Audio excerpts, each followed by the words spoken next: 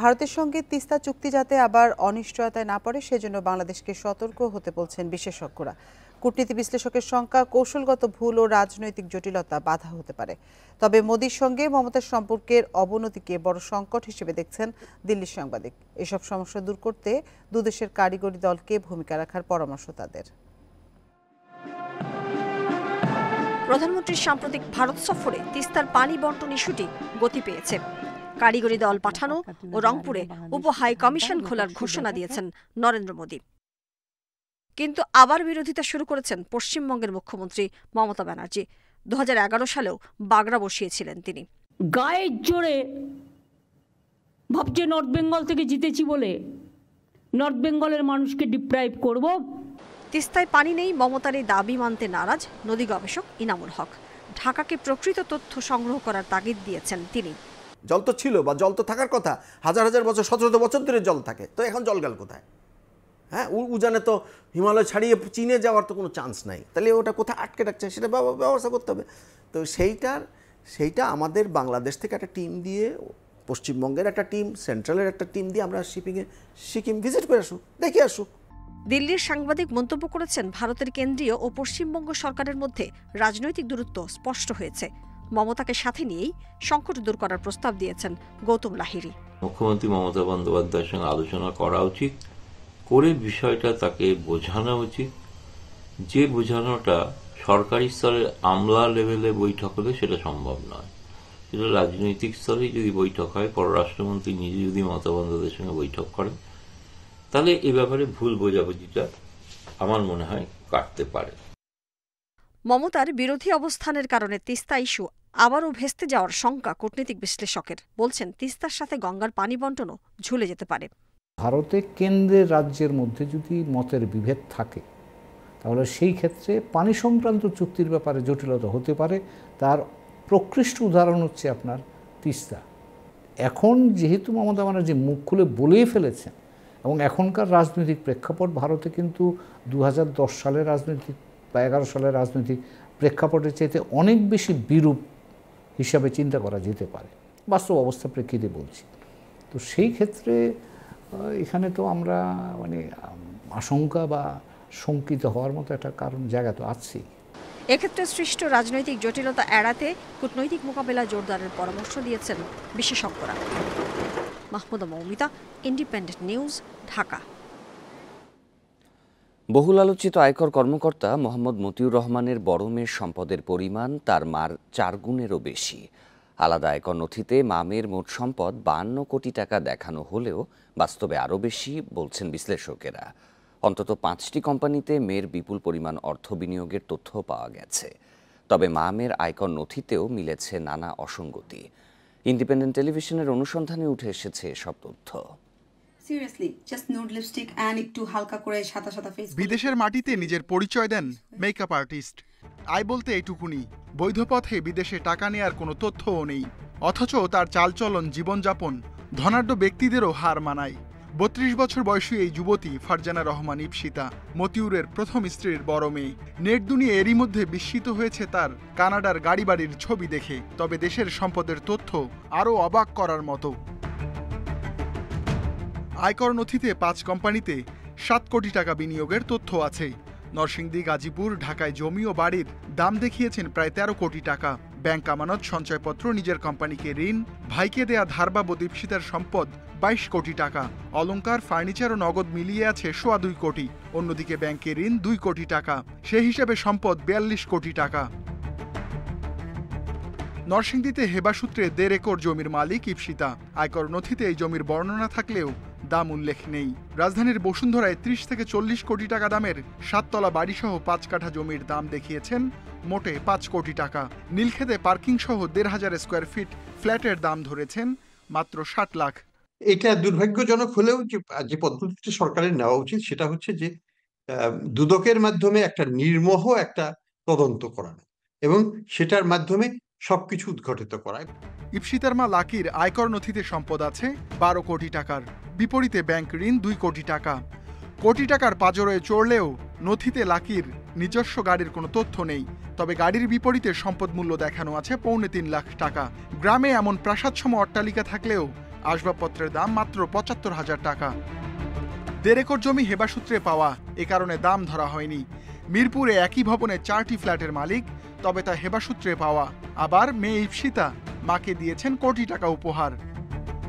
আয়কর নিবন্ধন নম্বর টিআইএন নিতেও চালাকি করেছেন লাকি টিনে ভুয়া ঠিকানা দিয়েছেন শিক্ষিকা থেকে রাজনীতিক বনে যাওয়া এই নারী। Ruhul Amin, Independent News, Dhaka. ছাগলকাণ্ডের জন্য আলোচিত রাজধানীর মোহাম্মদপুরে সাদিক অ্যাগ্রোতে আজ উচ্ছেদ অভিযান চালাবে ঢাকা উত্তর সিটি কর্পোরেশন। সকাল দশটার দিকে এ অভিযান শুরুর কথা রয়েছে। অভিযানের নেতৃত্ব দেবেন ঢাকা উত্তর সিটি কর্পোরেশনের অঞ্চল পাঁচের আঞ্চলিক নির্বাহী কর্মকর্তা মোহাম্মদ মোতাকাব্বির আহমেদ ও নির্বাহী ম্যাজিস্ট্রেট মোহাম্মদ মাহবুব হাসান। এর আগে এক কোটি টাকা মূল্যের গরু ও পনেরো লাখ টাকায় ছাগল বিক্রি করে আলোচনায় আসে সাদিক অ্যাগ্রো দেশের সবচেয়ে বড় এই অ্যাগ্রো ফার্মের মালিক ইমরান হোসেন। তিনি গবাদি পশুর খামারিদের সংগঠন Bangladesh dairy farmers association BDF এর সভাপতি।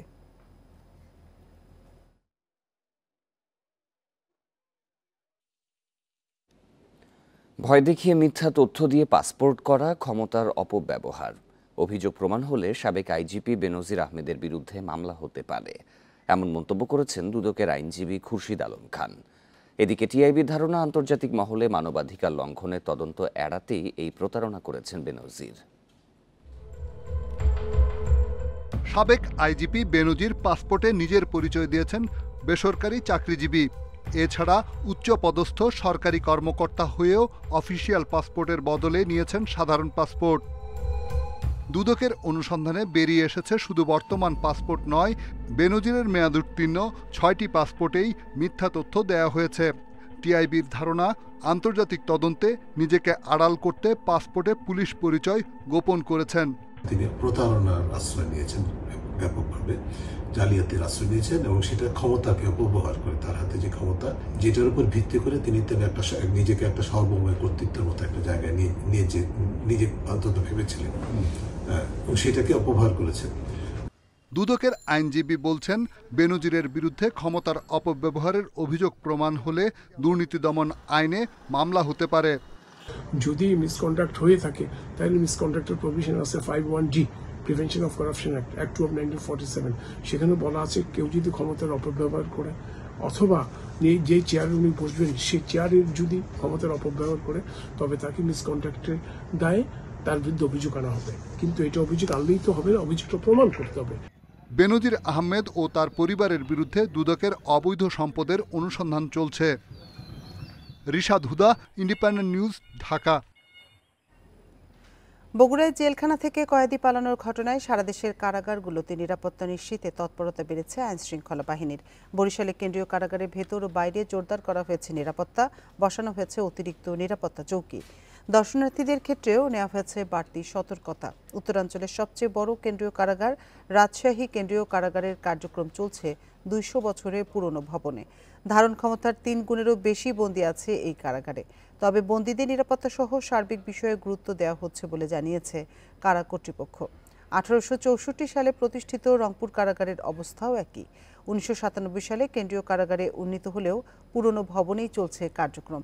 তবে কারাগারের নিরাপত্তা নিশ্চিতে সজাগ থাকার কথা জানিয়েছে কর্তৃপক্ষ।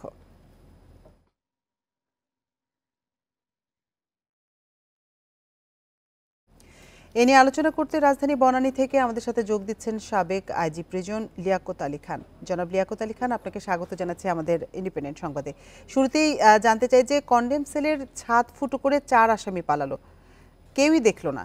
এটি কীভাবে সম্ভব? কথা বলতে গেলে এটা সম্পূর্ণ ব্যর্থতা কারা কন্ডেম সেল থেকে বন্দি পালানোর মতো ঘটনা, এটা নজিরবিহীন এবং কারাবিধি অনুসরণ করে যদি বন্দি পরিচালনা করা হতো ঠিক মতো, তাহলে আমার মনে হয় না এই জাতীয় ঘটনা ঘটার কথা। একটা কারাবিধিতে একটা চ্যাপ্টারই আছে আপনার স্কেচ করব। সেখানে কার কি দায়িত্ব, কীভাবে কন্ডেম জনকে রাখতে হবে, কীভাবে দেখভাল করতে হবে, সম্পূর্ণ বর্ণনা করা আছে। আই থিঙ্ক সেখানে অনেক যারা দায়িত্বে ছিল, তাদের অবহেলা তো এটি স্পষ্ট করে বলা যায়। যে কারাবাদীতে স্পষ্ট করা আছে, একজন কারা রক্ষীর সার্বক্ষণিক দৃষ্টিতে কন্ডেম সেলগুলা নজরদারি করতে পারে।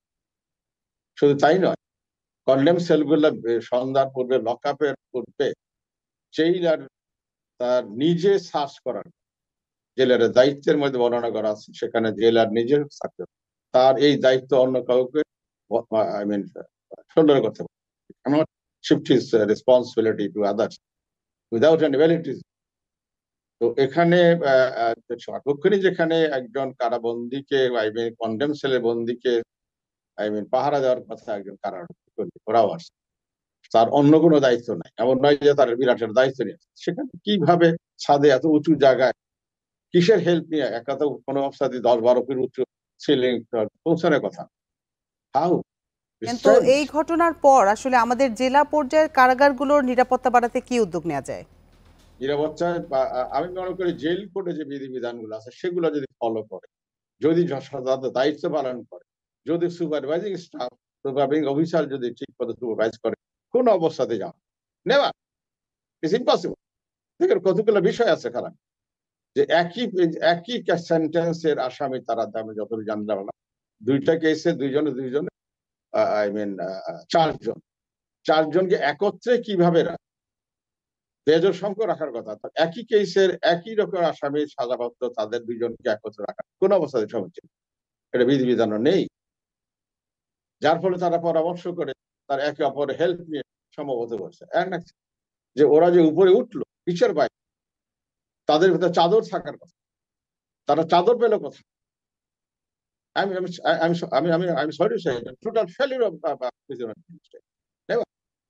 তারপরে ওখানে তাৎক্ষণিক তাদের যে একটা মানে অত্যন্ত মানে আমার কাছে মানে ভিন্নতা লাগে যে, জেল কোর্টে বিধান অনুযায়ী দায়িত্ব প্রাপ্ত যারা আছে, তাৎক্ষণিক তাদেরকে অব্যাহতি দেওয়া সাময়িক বরখাস্ত including the jailer jailer can step his eye ডিউটির রেসপন্সিবিলিটি এই সমস্ত অভাবের কারণে আমরা তো দেখি যে উন্নত বিশ্বে কারাগার এখন হচ্ছে সংশোধন কেন্দ্র। তো আমাদের কি অবস্থা আসলে? এখানেও কি সেটি সম্ভব? সংশোধন করার বিষয়টা বহু আগে থেকেই আসছে। উনিশশো একাশি সালে যখন jail commission last jail commission Munim commission সেখানেও অনেক রিকমেন্ডেশন ছিল। তো আমাদের দেশে অ্যাকচুয়ালি একটা বিষয় আমার অভিজ্ঞতা বলি যে সংশোধনের সঙ্গে সম্মিলিত হলো কনভিক্ট আই মিন সাদা পাত্রবন সেখানে আমাদের আছে। আমার মনে হয় না more than twelve percent or twenty percent এই আমাদের সংশোধন কাদেরকে নিয়ে আন্ডারটেল নয়। আন্ডারটেলের তো স্থায়িত্ব দান তো এই বিষয়টা প্রথম হলো আমাদের দেশের কারাগার হলে কনভিক্টের সংখ্যা বৃদ্ধি। তারপরে সংশোধন, এক কথা ইয়েস তারপরে ওয়ে মিনস বাইর করতে কি করা যায়? কিন্তু এটাই হলো সবচেয়ে বড় সমস্যা। জি জনাব লিয়াকত আলী খান আপনাকে অসংখ্য ধন্যবাদ আমাদের সাথে যোগ দেবার জন্য। এমপি আনোয়ারুল আজিম হত্যা মামলায় দুই আসামি ছদ্মবেশে তেইশ দিন পালিয়েছিলেন ফটিকছড়ির এক মন্দিরে। গোপন তথ্যের ভিত্তিতে অভিযুক্ত ফয়সাল ও মুস্তাফিজকে সেখান থেকে আটক করে ডিবি। হত্যার পর দেশে এসে বিভিন্ন জায়গায় তারা পালিয়েছিল বলে জানান ডিবি প্রধান।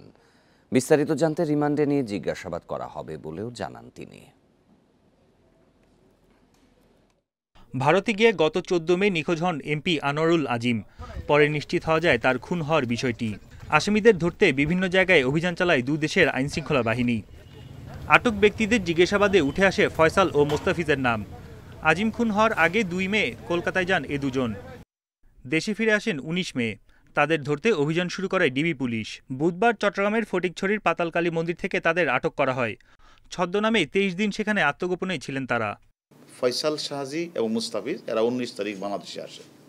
বাংলাদেশে এসেই তারা যখনই শিমুল ভুইয়া তাদের যে মূল কিলিং মিশনের যে মূল ঘাতক, শিমুল ভুইয়া যখন অ্যারেস্ট হন এবং তানবীর একের পর তারপরে শিলাস্তিক, তখনই এই দুইজন ঢাকা ছেড়ে চলে যায়। আটক ফয়সাল ও মোস্তাফিজকে হেলিকপ্টারে করে ঢাকায় আনা হয়। ডিবি প্রধান জানান হত্যায় অংশ নিতে ফয়সাল ও মোস্তাফিজকে তিরিশ হাজার করে টাকা দেওয়া হয়। দেশে ফিরে তারা আবারও পালানোর পরিকল্পনা করছিলেন। পাহাড়ের নিচে আরেকটি ইয়ে থেকে তাদেরকে আমরা রাতের বেলা শেষ রাতে তাদের সন্ধান আমরা পাই এবং পরবর্তী পরে হেলিকপ্টার অভিযান চালিয়ে আমরা সেখানে সবাই গ্রেপ্তার করি। পরে আমরা ছবি মিলিয়ে আমরা দুইজনকে আমরা পেয়ে যাই। আজিম হত্যা মামলায় দেশে সাতজন আর ভারতে দুইজন গ্রেপ্তার হয়। বন ইবনে কামাল ইন্ডিপেন্ডেন্ট নিউজ ঢাকা। সিলেট থেকে চট্টগ্রামগামী চলন্ত ট্রেনে এক তরুণী ধর্ষণের শিকার হয়েছেন। ট্রেনে খাবার সরবরাহকারী প্রতিষ্ঠান এসএ কর্পোরেশনের তিন কর্মীকে গ্রেপ্তার করেছে পুলিশ। এই ঘটনায় বরখাস্ত করা হয়েছে ট্রেনটির পরিচালক আব্দুর রহিমকে। ভুক্তভোগী তরুণীকে রাখা হয়েছে চট্টগ্রামে মেডিকেলের ওয়ান স্টপ ক্রাইসিস সেন্টারে। মঙ্গলবার রাতে সিলেট থেকে উদয়ন এক্সপ্রেসে চট্টগ্রাম হয়ে বান্দরবান যাচ্ছিলেন এক তরুণী। রেল পুলিশ জানায়, আসন না পেয়ে খাবারের বগিতে ভ্রমণ করছিলেন তিনি। অভিযোগ করা হয়েছে, ট্রেনটি ভোরে লাকসাম এলাকায় পৌঁছালে ট্রেনে খাবার সরবরাহকারী প্রতিষ্ঠানের তিন কর্মী, শরীফ, জামাল ও রাশেদুল ওই তরুণীকে ধর্ষণ করে। অভিযুক্ত তিনজনকে বুধবার সকালে চট্টগ্রাম রেল স্টেশন থেকে গ্রেপ্তার করা হয়। রেল পুলিশ জানায় প্রাথমিক জিজ্ঞাসাবাদে অপরাধ স্বীকার করেছে তারা। এরই মধ্যে তাদের বিরুদ্ধে মামলাও হয়েছে। নারী নির্যাতন সংক্রান্ত অভিযোগ পেয়েছি। ওদেরকে অভিযোগের ভিত্তিতে আমরা তিনজনকে অ্যারেস্ট করেছি। অ্যারেস্ট করে আমরা নিয়মতান্ত্রিকভাবে এদেরকে বিজ্ঞ আদালতে সুপর্দ করি এবং পরবর্তী আইনানুগ ব্যবস্থা প্রক্রিয়াধীন আছে। রেল কর্তৃপক্ষ জানায় এই ঘটনায় ট্রেনের পরিচালক আব্দুর রহিমকে বরখাস্ত করা হয়েছে। এই ঘটনায় আরও কেউ জড়িত কিনা তা খতিয়ে দেখা হচ্ছে। তিনজন গ্রেপ্তার হয়েছে এবং তাদেরকে বিধিজ্ঞ আদালতে সুপর্দ করা হয়েছে। ওরা ইয়ে করেছে কনফেস করেছে। আর কিছু বাকি আছে, আমরা কাজ আছে, বাকি আছে। নিরাপত্তা কোনো ইয়ে এটা এগুলো খাবার বগিতে, ওখানে গিয়েছে। আমরা এই বিষয়ে তো ওদের তো রেলের কর্তৃপক্ষ বলেছি। ট্রেনে খাবার সরবরাহকারী প্রতিষ্ঠান এসআই কর্পোরেশনের সাথে চুক্তি স্থগিত করেছে railway. Anupam Shil, Independent News, Chattogram. ইসলামী বিশ্ববিদ্যালয়ের শিক্ষক কর্মকর্তাদের ঘিরে বিতর্ক যেন থামছেই না, ভিসি, প্রো ভিসি, বিতর্ক শেষ না হতেই এবার রেজিস্ট্রারের অর্থ লেনদেনের অডিও ও অশ্লীল ভিডিও ভাইরাল হয়েছে। এতে প্রতিষ্ঠানের ভাবমূর্তি নষ্ট হওয়ায় ক্ষুব্ধ শিক্ষক শিক্ষার্থীরা উপাচার্য বলছেন, একটি মহল কর্মকর্তাদের সম্মানহানি করতে চাইছে। ভিসি নানা ধরনের অনিয়মের অডিও প্রভিসি নিয়োগ সংক্রান্ত চ্যাটিং ফাঁসের পর এবার আলোচনায় কুষ্টিয়া ইসলামী বিশ্ববিদ্যালয়ের রেজিস্ট্রার আলী হাসানকে ঘিরে। সম্প্রতি তার সাথে এক ঠিকাদারের অর্থ লেনদেনের অডিও ও এক নারীর অশ্লীল ভিডিও ভাইরাল হয়েছে। এতে শিক্ষার্থীরা ক্ষুব্ধ। একজন সাধারণ শিক্ষার্থী হিসাবে মেনে নেওয়া, এটা ধারণ করা খুবই কষ্টদায়ক। সঠিক তদন্তের মাধ্যমে এই ভিডিওটা যদি সঠিক হয়ে থাকে এই ভিডিওর সাথে সংশ্লিষ্ট যারা আছে তাদেরকে শাস্তি শাস্তির আওতায় আনা হয়। এইসব ঘটনায় শিক্ষক কর্মকর্তারাও বিব্রত। বলছেন এতে প্রতিষ্ঠানের ভাবমূর্তি ক্ষুণ্ণ হচ্ছে। ছাত্র ছাত্রী থেকে শুরু করে কর্মকর্তা কর্মচারী শিক্ষক সবাই সবাই এটাতে বিব্রত বোধ করে এবং বিচলিত হয় এবং আমি যদি নিজেই দুর্বল হই আমার সন্তানকে শাসন করাও তো আমার জন্য খুব কঠিন হয়ে যায়। অডিও ভিডিও যে ভাইরালগুলো হচ্ছে সে বিষয়গুলো আমরা দেখতেছি। পত্রপত্রিকায় বা মোবাইলে ফেসবুকে আইডিতে। কিন্তু সেই ক্ষেত্রে কোনো পদক্ষেপ আমরা তো প্রশাসনের দিক থেকে কখনোই পাইনি। কর্মকর্তাদের সম্মানহানির জন্য একটি মহল অপপ্রচার চালাচ্ছে বলে দাবি উপাচার্যের। দুর্নীতি হলে প্রাতিষ্ঠানিক অভিযোগ জানানোর আহ্বান তার। উনি ওনার কাছ থেকে টাকা নিয়েছেন। এবং এই টাকাটা এই যে এখানে এই যে এই টাকা জমা দিয়েছে, এই যে চেক নাম্বারে তো এরকম ডকুমেন্ট টকুমেন্ট দিয়ে, তা নাহলে এটা হচ্ছে আমার মনে হয় যে শুধুমাত্র যেন একটা মেলাইন করা একজনের মান সম্মান হানি করে অডিও ভিডিও ফাঁসে প্রতিষ্ঠান সবচেয়ে বেশি ক্ষতিগ্রস্ত হচ্ছে বলেও মন্তব্য করেন বিশ্ববিদ্যালয়ের উপাচার্য। Independent News. চট্টগ্রামের সরকারি সাতাশ মন্ত্রণালয়ের অধীনে বিভিন্ন সংস্থার কাছে একশো চব্বিশ কোটি টাকার বিদ্যুৎ বিল বকেয়া পড়েছে। চিঠির পর চিঠি দিয়েও এসব বকেয়া আদায় করতে পারছে না বিদ্যুৎ বিভাগ। ইতোমধ্যে কয়েক দফায় কয়েকটি প্রতিষ্ঠানে সংযোগ বিচ্ছিন্ন করে বিল পরিশোধে তাগাদা দেওয়া হয়েছে। বাজেট না থাকায় বিল পরিশোধ করা যাচ্ছে না বলে জানিয়েছে সংশ্লিষ্ট প্রতিষ্ঠানগুলো। সরকারি বিভিন্ন সংস্থার বকেয়া বিল তুলতে হিমশিম খাচ্ছে চট্টগ্রাম বিদ্যুৎ বিভাগ। তালিকায় নাম নেই, এমন সংস্থাই যেন খুঁজে পাওয়া দেয় আছে রেলওয়ে, পুলিশ, স্থানীয় সরকারের বিভিন্ন সংস্থা, স্বাস্থ্য, শিক্ষা, কৃষি সহ নানা দপ্তরের নাম। সব মিলে সাতাশটি মন্ত্রণালয়ের কাছে বকেয়া পড়েছে একশো চব্বিশ কোটি পঁয়ষট্টি লাখ টাকার বেশি।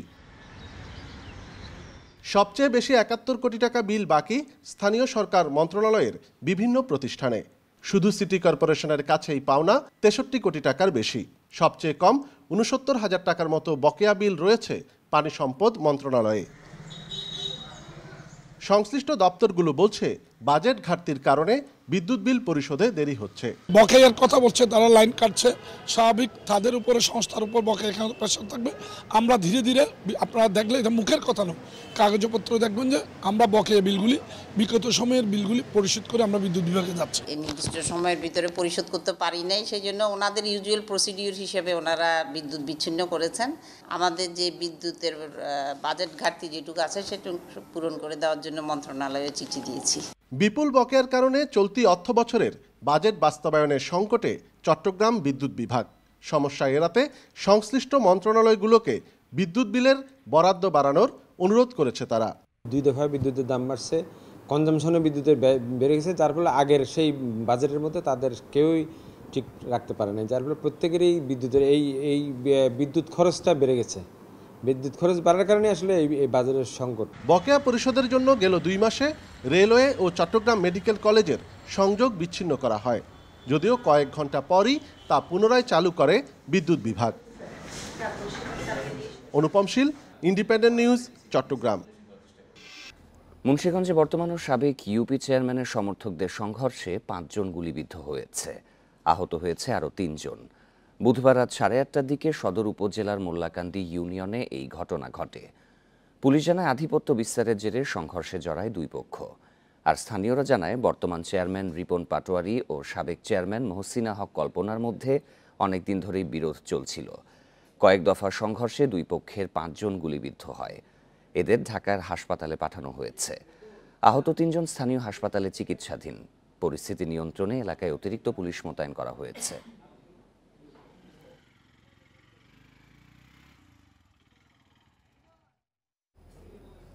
নারায়ণগঞ্জে পণ্যবাহী ট্রলারে দুই দফা আগুনের কারণ নিশ্চিত করতে পারেনি ফায়ার সার্ভিস। তবে ধারণা করা হচ্ছে, ট্রলারটিতে তেলের ড্রাম থাকায় রান্নাঘরের আগুন থেকে দুর্ঘটনাটি ঘটতে পারে। ঘটনার সময় পাঁচজন শ্রমিক কর্মচারী ছিলেন নৌযানটিতে। এর মধ্যে একজনের মরদেহ, আরেকজনকে আহত অবস্থায় উদ্ধার করে ফায়ার সার্ভিস। বুধবার দুপুর দেড়টার দিকে নারায়ণগঞ্জের ফতুল্লায়, বুড়িগঙ্গা নদীতে নৌযান এমভি মনপোড়ায় আগুন লাগে। মুহূর্তেই ছড়িয়ে পড়ে পুরো ট্রলারে। খবর পেয়ে ফায়ার সার্ভিসের আটটি ইউনিট ঘটনাস্থলে পৌঁছায়। দেড় ঘণ্টার চেষ্টায় নিয়ন্ত্রণে আনে আগুন। এই সময় এক শ্রমিকের মরদেহ উদ্ধার করা হয়। এছাড়া আহত একজনকে উদ্ধার করে হাসপাতালে প্রাথমিক চিকিৎসা দেয়া হয়। আমরা আগুনের সঠিক কারণ যেটা সেটাও আমরা বলতে পারিনি, তবে এগুলার কারণ আনুমানিক যেটা সম্ভাব্য হইতে পারে, বিড়ি সিগারেট থেকে হতে পারে বা ভিতরে রান্না করে অনেক সময়, সেখান থেকে হতে পারে। ট্রলারটিতে তেলের ড্রাম ছাড়াও বিভিন্ন ধরনের সামগ্রী ছিল। সেটি নারায়ণগঞ্জের ফতুল্লা থেকে বরিশাল যাচ্ছিল। তেলের ডিপোর কর্মকর্তারা জানান ঘটনার সময় ট্রলারে রান্না করছিলেন কর্মচারীরা। সেখানে অন্তত পাঁচজন ছিলেন। একটা বিষয়ে হেরা যাইব গা বিদায় নিতে আছে। হেরা আবার এমন টাইমে পাকও করে। পাক করে না এমন টাইমে আর কোনভাবে তাগুনটা লাগছে বলতে পারি না। ইঞ্জিল সেল মারছে সেল মারছে ইঞ্জিল স্টার্ট হয় স্টার্ট হয়ে বিকট শব্দ হয়েছে। তো শব্দ হয়েছে শব্দ সাথে সাথেই দেখি সব দুয়ার গোলা বাড়িতে আছে। পরে নোঙ্গর করা অবস্থায় সন্ধ্যা সাতটায় আবারও আগুন লাগে নৌযানটিতে। প্রায় এক ঘণ্টার চেষ্টায় আগুন নিয়ন্ত্রণে আনে ফায়ার সার্ভিস, তবে এ সময় কেউ হতাহত হয়নি। Independent News. বন্যা ও পাহাড়ি ঢলে সুনামগঞ্জে ভেঙে গেছে বেশিরভাগ সড়ক, পানির প্রবল তোড়ে ক্ষতিগ্রস্ত হয় সেতু ও কালভার্টও। দ্বিতীয় দফা বন্যার নয় দিন পেরোলেও স্বাভাবিক হয়নি যান চলাচল। এতে দুর্ভোগে পড়তে হচ্ছে স্থানীয়দের। শিগগিরই সংস্কার শুরুর আশ্বাস এলজিইডি কর্তৃপক্ষের। টানা বর্ষণ আর পাহাড়ি ঢল সুনামগঞ্জের সব জায়গায় রেখে গেছে ক্ষতচিহ্ন। জেলার সব সড়কে কম বেশি ক্ষতিগ্রস্ত হয়েছে। পানি নামলেও অনেক সড়ক চলাচলের অনুপযোগী হয়ে পড়ে। বানের পানিতে ডুবে থাকায় সুনামগঞ্জ পৌর এলাকার বেশিরভাগ সড়কে ভাঙন দেখা দেয়। কোথাও উঠে গেছে পিচ কংক্রিট। জেলা সদর থেকে ছাতক দোয়ারা বাজারের একটি অংশ স্রোতের তোরে ভেঙে যায়। তাহিরপুর বিশ্বম্ভরপুর দোয়ারা বাজার জামালগঞ্জ ছাতক দক্ষিণ সুনামগঞ্জ উপজেলার কাঁচাপাকা সড়কে রয়েছে অসংখ্য ছোট বড় গর্ত। যানবাহন কিংবা মানুষের চলাচলে ভোগান্তির কোনো শেষ নেই। গাড়ি ঘোড়া আইতে পারেন না। রাস্তা বাই দিয়ে গাড়ি ঘোড়া আইতে আমরা নিজে আইতে পারেন না। গাড়ি ঘোড়া চলেন না। যোগাযোগ অবস্থা খুবই খারাপ। ওই দেখেন এখন আমরা হসপিটালে দেখা আইতে আসতে হয়। কিন্তু রুগী নিয়ে যাওয়াটা খুবই সমস্যা। মনগার ভিতরে দুইটা রাস্তা। এই যে নদী সুরমার করতে ভাঙ্গিয়া। পানি পুরোপুরি নামলে ক্ষয়ক্ষতির আরও তথ্য পাওয়া যাবে। অর্থ বরাদ্দ পেলেই এসব সড়ক সংস্কারের কাজ শুরু করবে এলজিডি কর্তৃপক্ষ। বন্যার ক্ষয়ক্ষতির বিবরণটা পূর্ণভাবে উঠে আসবে। তবে আমরা আনুমানিক ধারণা করতেছি একশো চল্লিশ থেকে একশো ষাট কিলোমিটার রাস্তার এবং অন্যান্য কিছু স্ট্রাকচার বিশেষ করে তাদের অ্যাপ্রোচ নষ্ট হয়েছে এবং কোনো কোনো রাস্তা অ্যাপ্রোচের ব্রিজ কালভার্ট টপ স্লাব নষ্ট হয়েছে। বন্যায় জেলায় প্রায় দেড়শো কিলোমিটার সড়ক ক্ষতিগ্রস্ত এবং এতে আর্থিক ক্ষতি চারশো কোটি টাকা। ইন্ডিপেন্ডেন্ট নিউজ মৌলভীবাজারের বন্যা পরিস্থিতির আরও খবর জানাতে এবার যোগ দিচ্ছেন সহকর্মী তুহিনুর রশিদ। তুহিন পানি কতটুকু কমলো দ্বিতীয় দফা বন্যার পরে? মানুষ কি বাড়িঘরে ফিরতে শুরু করেছেন কিনা? আর রাস্তাঘাটের পরিস্থিতি কেমন দেখা যাচ্ছে?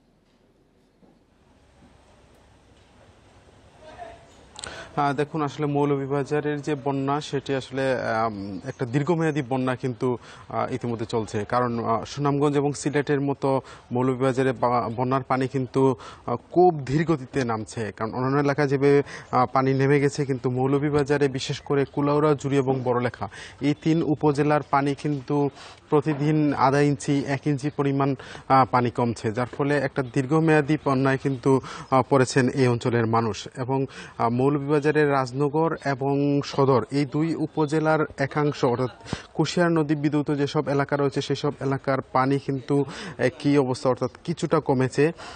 আর যে বিষয়টি হচ্ছে আসলে এখানে গতকাল পর্যন্ত মৌলভীবাজার জেলা প্রশাসনের তথ্য মতে প্রায় তিন লাখ মানুষ কিন্তু এখনও পানিবন্দী অবস্থায় আছেন। পাশাপাশি এখানে যে বাড়িঘরগুলি, রাস্তাঘাটগুলি, এগুলিও কিন্তু ডুবন্ত অবস্থায় আছে। গ্রামীণ হাট বাজারগুলি সেগুলিও কিন্তু পানির নিচে আছে। এবং মৌলভীবাজারে গতকাল বিকেল পর্যন্ত প্রায় সাড়ে সাত হাজার মানুষ কিন্তু আশ্রয় কেন্দ্রগুলিতে তারা অবস্থান করছিলেন। তবে পানি কিছুটা কমায় কিন্তু আমরা দেখেছি যে যেসব মানুষ আশ্রয় কেন্দ্রে গিয়েছিলেন তারা কিন্তু তাদের বাড়িঘরে ফিরতে শুরু করেছেন এবং বাড়িঘর যেহেতু এখনও বেশিরভাগ বাড়িঘরই কিন্তু পানির নিচে আছে। তো যে দুর্ভোগ যে বিষয়টি আসলে এখন দীর্ঘমেয়াদী একটি বন্যার কারণে কিন্তু এই অঞ্চলের মানুষের দুর্ভোগটা চরম আকার ধারণ করেছে এবং এখানে কিন্তু পানিবাহিত নানান রোগ সহ বিভিন্ন সমস্যা কিন্তু দেখা দিয়েছে। তবে যে বিষয়টি এখন আসার কথা হচ্ছে, মৌলভীবাজারে কুশিয়ারা নদীর পানি কিন্তু বিপদ সীমার ছয় সেন্টিমিটার নিচ দিয়ে কিন্তু প্রবাহিত হচ্ছে। যার ফলে আশা করা হচ্ছে যে পানি হয়তো কিছুটা কমবে। তবে যে বিষয়টি হচ্ছে, এখানে বৃষ্টিবাদল যদি আবারও পুনরায় শুরু হয়, তাহলে কিন্তু মৌলভীবাজারের বন্যা পরিস্থিতি আবার অবনতি হবে। এমনটাই কিন্তু আশঙ্কা প্রকাশ করেছেন এখানকার বানবাসী মানুষেরা। এই ছিল আসলে আমার কাছে মৌলভীবাজার থেকে বন্যা পরিস্থিতির সর্বশেষ তথ্য। বন্যা পরিস্থিতির খবর মৌলভীবাজার থেকে জানাচ্ছিলেন সহকর্মী তুহিনুর রশিদ। দুদকের মামলার জেরে আট বছর ধরে রাঙামাটি পাবলিক কলেজের ভবন নির্মাণ কাজ বন্ধ রেখেছে ঠিকাদার। এতে ব্যাহত হচ্ছে লেখাপড়া কলেজের উন্নয়নও সম্ভব হচ্ছে না। তবে জটিলতা নিরসন করে দ্রুত নির্মাণ কাজ শুরুর আশাবাদ জানিয়েছেন জেলা প্রশাসক। দু হাজার চোদ্দ সালে স্থাপিত রাঙামাটি পাবলিক কলেজে ভবন নির্মাণের জন্য পাঁচ কোটি ছেষট্টি লাখ টাকার প্রকল্প অনুমোদন দেয় পার্বত্য চট্টগ্রাম উন্নয়ন বোর্ড। কাজ শুরু হয় দু হাজার ষোলো সালে, যা শেষ হওয়ার কথা ছিল দু আঠারোতে। তবে ঠিকাদার ও অর্থ সংরক্ষণকারী শাখা ব্যাংক ম্যানেজারের বিরুদ্ধে দুদকের দুর্নীতি মামলার জেরে কিছুদিন পর কাজ বন্ধ হয়ে যায়। রুম সংকটে দীর্ঘদিন ধরে ব্যাহত হচ্ছে লেখাপড়া। কলেজে কোনো ভবন নাই। একদম ছোটখাটো একটা ভবন আছে। আমাদের এখানে ক্লাস করতে অনেক সমস্যা গরমের মধ্যে দাঁড়ায় থাকতে হয় ক্লাসে সবার জায়গা হয়ে ওঠে না। এই অবস্থায় শিক্ষার পরিবেশ নিশ্চিত করতে পারছেন না কলেজ কর্তৃপক্ষ। শিক্ষকদের এমপিও আবেদন সহ কলেজের উন্নয়নও সম্ভব হচ্ছে না। দুর্নীতি হয়েছে মর্মে যে দুর্নীতি দমন কমিশন এসে এখানে দুর্নীতি দমন কমিশন একটি মামলা করে ঠিকাদারের বিরুদ্ধে। এরপর থেকেই তো কাজের কাজ টোটালি বন্ধ। এখন তো আমরা কিছু চাইলেই করতে পারতেছি না। তবে জটিলতা নিরসনে উদ্যোগ নেওয়ার কথা জানিয়েছেন জেলা প্রশাসক। হাইকোর্টে মামলা রয়েছে। আপনারা জানেন পার্বত্য উন্নয়ন বোর্ড থেকে এটি নির্মিত হচ্ছে। মামলাটি যেন দ্রুত নিষ্পত্তি হয় সেই জন্য পার্বত্য উন্নয়ন বোর্ডকে আমরা অনুরোধ করেছি দ্রুত নিষ্পত্তি করে এবং যেন দ্রুত কাজটি সম্পন্ন করা যায়। রাঙ্গামাটি পাবলিক কলেজে বর্তমানে সাড়ে সাতশো শিক্ষার্থী লেখাপড়া করে। খণ্ডকালীন সহ তেরো জন শিক্ষক ও পাঁচজন কর্মকর্তা কর্মচারী আছেন। ইন্ডিপেন্ডেন্ট নিউজ ক্যাশমেমোতে মূল্য উল্লেখ না করে বিক্রি ও এস এম এর মাধ্যমে ডিমের বাজার নিয়ন্ত্রণের অভিযোগে তেজগাঁওয়ের এক পাইকারি ডিম ব্যবসায়ীকে পঞ্চাশ হাজার টাকা জরিমানা করেছে ভোক্তা অধিকার সংরক্ষণ অধিদপ্তর। ভোরে রাজধানী তেজগাঁওয়ের ডিমের আড়তে বিশেষ এই অভিযান পরিচালনা করেন সংস্থাটির পরিচালক আব্দুল জব্বার মণ্ডল। অভিযান শেষে গণমাধ্যমকে তিনি বলেন, তেজগাঁওয়ের পাইকারি ডিম ব্যবসায়ী আমানাতুল্লাহ এন্টারপ্রাইজকে বাজার অস্থির করার দায়ে বুধবারও দশ হাজার টাকা জরিমানা করা হয়েছিল। কিন্তু আজও একই অপরাধ করা হচ্ছিল, এমন তথ্য প্রমাণের ভিত্তিতে পঞ্চাশ হাজার টাকা জরিমানা করা হয়েছে। অভিযুক্ত ব্যবসায়ী আরও কিছু ব্যবসায়ীর সঙ্গে যোগসাজস্যে এস এম এর মাধ্যমে বাজার দর ঠিক করে, যা আইনত দণ্ডনীয়। এস এম এর মাধ্যমে। এনারা বাজারটা নিয়ন্ত্রণ করছে। অথচ কম্পিটিশন আইন দু হাজার বারোতে স্পষ্ট বলা হয়েছে যে বাজারটা হবে স্বচ্ছ। একটা ছবিতে আমরা দেখলাম যে মত বিনিময় সভা করছেন। লেখা আছে, ডিমের বাজার নিয়ন্ত্রণ সংক্রান্ত মত বিনিময় সভা। সভাপতিত্ব করেছেন কি? এই যে বর্তমানে আজকে যে জেনে আমরা দেখলাম এনার মাধ্যমে এই কাজগুলো করা হচ্ছে। এগুলো দুঃখজনক বিষয়। এই সকল অপরাধে এই একটি প্রতিষ্ঠানকে পঞ্চাশ হাজার টাকা জরিমানা আরোপ করা হয়েছে। দেশে ভোগ্যপণ্য শিল্পের কাঁচামাল সহ সার্বিক আমদানি কমছে। অর্থ বছরের নয় মাসে মোট আমদানি কমেছে সাড়ে বারো শতাংশের বেশি। শুধু শিল্পের কাঁচামাল আমদানি কমেছে প্রায় পঁচিশ শতাংশ। এজন্য ডলার সংকট ও উচ্চ মূল্যকে দায়ী করছেন আমদানিকারকরা। অর্থনীতিবিদরা বলছেন, পাচার করা অর্থ ফেরত আনা গেলে দূর হবে ডলার সংকট। বাড়বে উৎপাদনশীল খাতের আমদানি।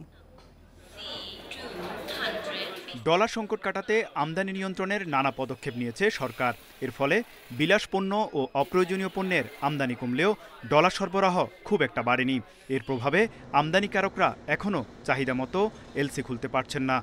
ফলে কমেছে শিল্পের কাঁচামাল, ভোগ্যপণ্য ও মূলধনী যন্ত্রের আমদানি। বাংলাদেশ ব্যাংকের তথ্যমতে চলতি অর্থবছরের প্রথম নয় মাসে ভোগ্যপণ্যের আমদানি কমেছে বিশ শতাংশ। মূলধনী যন্ত্রপাতি চব্বিশ শতাংশের বেশি আর শিল্পের কাঁচামাল আমদানি কমেছে প্রায় বাইশ শতাংশ। কমেছে পেট্রোলিয়াম পণ্যের আমদানিও। সরকারকে এখন নীতি নিতে হবে যে আবার আগের মতো আমাদেরকে ফ্রিলি ইম্পোর্ট করার সুযোগ দিতে হবে। তখন ইন্ডাস্ট্রির চাকা ঘুরবে এমপ্লয়মেন্ট থাকবে এবং যখন দেশে প্রোডাকশন আসবে ইনফ্লেশনও নেমে আসবে। ব্যাংকগুলোতে গিয়ে যদি আমরা এখন বলি যে এলসি করব তখন ওনাদের মুখের যে সুন্দর একটা হাসি থাকে সেটা আর থাকে না মলিন হয়ে যায়। তো সেখান থেকে বোঝা যায় যে ডলারের অ্যাভেলেবিলিটি অনেকটাই কম আগের চাইতে। গেল মে মাসে দুশো পঁচিশ কোটি ডলার পাঠিয়েছেন প্রবাসীরা যা গত বছরের একই সময়ের চেয়ে বত্রিশ শতাংশ বেশি। এতে ব্যাংকিং চ্যানেলে ডলারের সরবরাহ বাড়লেও পরিস্থিতি স্বাভাবিক হবে বলে আশা করছেন বিশ্লেষকরা। একশো বাইশ তেইশ এই রেটটা কিন্তু এখন হচ্ছে না। যদি কোনো ব্যাংক সেটা হয়তো স্পেসিফিক দুই চারটা ব্যাংক করতে পারে বাট ইন জেনারেল কিন্তু সেটা করা সম্ভব সেটা করা সম্ভব না। বাংলাদেশে এখন রিমিটেন্স হয় পঁচিশ বিলিয়ন আর টাকা পাচার হয়ে যায় প্রায় সাতাশ আঠাশ বিলিয়ন ডলার তো এখন আমরা যদি সেই আঠাশ বিলিয়ন ডলারকে প্রতি বছর নিয়ে আসতে পারি তাহলে তো আমাদের সমস্যাটা সমাধান হয়ে যায়। অর্থনীতিবিদরা বলছেন দীর্ঘমেয়াদে আমদানির সংকট নিরসনে ডলার বাজার স্থিতিশীল করতে হবে। এজন্য হুন্ডি ব্যবসা ও অর্থ পাচারের বিরুদ্ধে কঠোর পদক্ষেপ নেওয়ার তাগিদ তাদের। Touhid Rana Independent News Dhaka. যুক্তরাষ্ট্রের নিউ ইয়র্কে বাংলাদেশে পাঠাওয়ে সহ প্রতিষ্ঠাতা ফাহিম সালেহ হত্যাকাণ্ডের ঘটনায় তার সাবেক সহকারী টাইরেস হাসপিল দোষী সাব্যস্ত হয়েছেন। এই সিদ্ধান্ত জানিয়েছে ম্যানহাটন সুপ্রিম কোর্টের জুরি বোর্ড। আদালতে হাসপিল দাবি করেন, বান্ধবীকে উপহার দিতে ফাহিমের অর্থ চুরি করেছিলেন তিনি, আর সেই ঘটনা লুকাতেই হত্যাকাণ্ডটি ঘটিয়েছেন। তবে বিচারক তার এই দাবি প্রত্যাখ্যান করেছেন। আইনজীবীরা বলেছেন, ফাহিমকে ঠান্ডা মাথায় পরিকল্পনা মাফিক হত্যা করেছেন হাসপিল। নিউ ইয়র্কে নিজ অ্যাপার্টমেন্টে দু হাজার বিশ সালের তেরোই জুলাই খুন হন ফাহিম। এর তিন মাস পর পঁচিশ বছরের হাসপিলের বিরুদ্ধে অভিযোগ গঠন করা হয়। এই ছিল বিরতিহীন সংবাদে। ইন্ডিপেন্ডেন্ট টেলিভিশনের সব খবরে বিস্তারিত জানতে চোখ রাখুন ফেসবুক ইউটিউব এবং এক্সে এতক্ষণ সাথে থাকার জন্য ধন্যবাদ সবাইকে।